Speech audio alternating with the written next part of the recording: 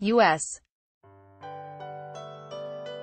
President Donald Trump said on Friday he had given Kim Jong-un a direct phone number and suggested he might call the North Korean leader on Sunday, following their summit in Singapore this week.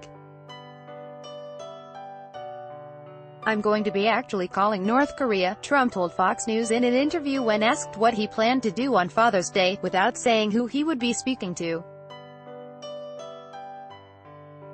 Trump, who has hailed his meeting with Kim on Tuesday as a success that removed the North Korean nuclear threat, told reporters later that he had given Kim a phone number to allow him to reach him directly. I can now call him. I can now say, well, we have a problem. I gave him a very direct number. He can now call me if he has any difficulties, I can call him. Trump said during an impromptu news conference on the White House lawn.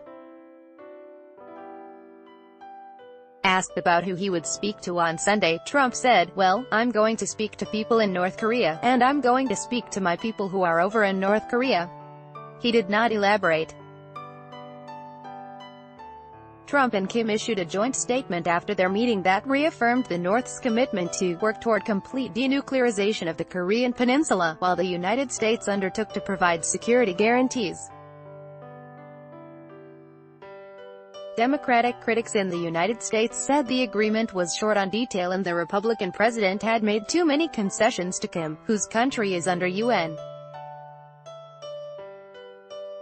sanctions for its nuclear and weapons programs and is widely condemned for human rights abuses.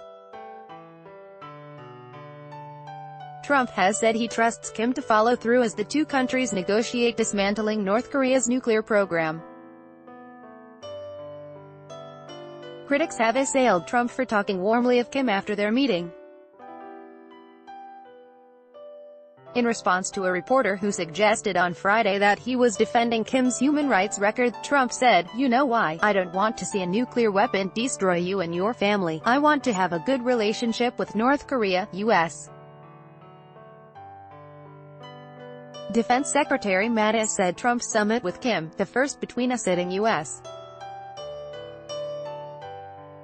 president and a North Korean leader, showed that the past did not have to define the future, but that the U.S. military remained vigilant.